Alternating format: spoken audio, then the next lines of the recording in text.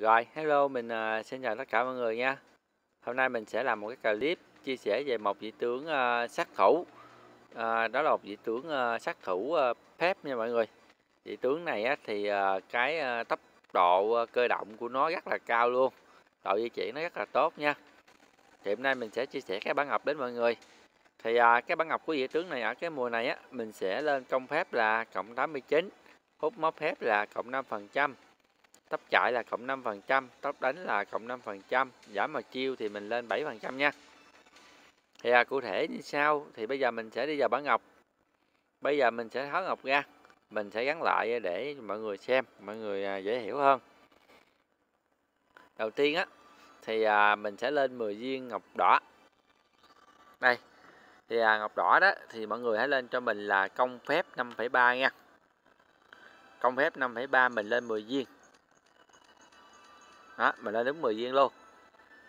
Tiếp theo là ngọc tím á, thì mọi người hãy lên cho mình là 5 viên. Tóc đánh và tóc chạy tóc đánh tóc chạy 5 viên.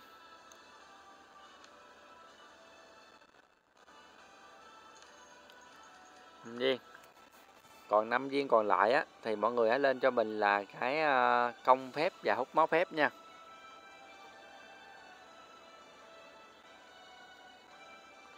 Công phép là 2,4 hút máu phép là 1% mình lên 5 viên.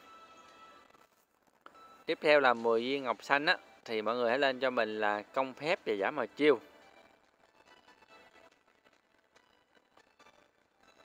Công phép là 2,4 giảm màu chiêu là 0,7% nha. Mình lên 10 viên. Thì à, như vậy là mình đã lên xong cái bản ngọc uh, của vị tướng uh, The Flash cái vị tướng này á, thì cái độ cơ động rất là cao mọi người chơi thì cũng ờ, thấy rồi. Đặc biệt là cái chiêu ba của vị tướng này á, nó miễn ờ, sát thương và nó gây ờ, chón rất là mạnh luôn. Rồi thì đây là bản ngọc tiếp theo mình sẽ chia sẻ cái trang bị và cái phù hiệu nha.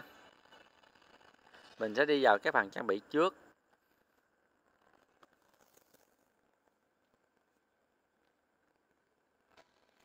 Thì à, trang bị của vị tướng này á thì à, đây là cái trang bị ở mùa trước nè mùa trước là mình lên giày kiên cường. À, cái à, quyền trượng hay hay a cái quyền rồi à, cái à, dương niệm hay te rồi cái à, dương đẳng thế.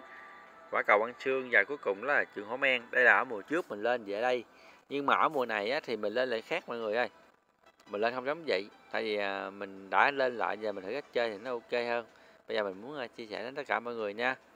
Thì đầu tiên á mọi người hãy lên cho mình cái ờ, ngọc đại pháp sư nha. Món thứ hai là giày kiên cường. Món thứ ba mình sẽ lên là cái ờ, dương tận thế. Và món thứ tư chính là cái dương niệm hakate. Món thứ năm mọi người hãy lên cho mình là cái quyền trượng hay a nha. Cuối cùng là mình sẽ lên thách thánh. Đó. Thì đây là cái phần trang bị ở mùa này nha thì à, không phải là mình lên vậy đây nha mọi người nhưng mà ở cái món thứ năm thứ sáu này nè tùy theo cái tem của đội bạn là mình lên hai cái món này để mà khống chế à, rồi công hoặc là thủ nha chứ không phải là mình lên ờ, cố định như đây. Cố định như đây là thường là mình sẽ lên bốn món đầu tiên thì thôi mọi người ơi. Hai món cuối là mình lên theo tem bạn. Rồi tiếp theo mình sẽ đi vào phần cuối cùng đó chính là phù hiệu nha.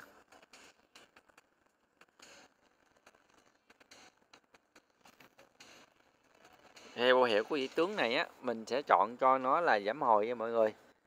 Cái giảm hồi nó rất là phù hợp với vị tướng này luôn nên là mình sẽ ưu tiên chọn cái à, giảm hồi. Thì à, để chọn được cái giảm hồi á thì à, đầu tiên mọi người hãy chọn viên đá màu đỏ nè. Tiếp theo màu đỏ trên. Tiếp theo là cái màu đỏ dưới nè. Tiếp theo là cái giảm hồi. Dưới đây thì màu xanh mọi người ơi màu xanh nè. Màu xanh ở trên. Rồi à, màu xanh nè rồi cái uh, hạ tăng CT ở trên.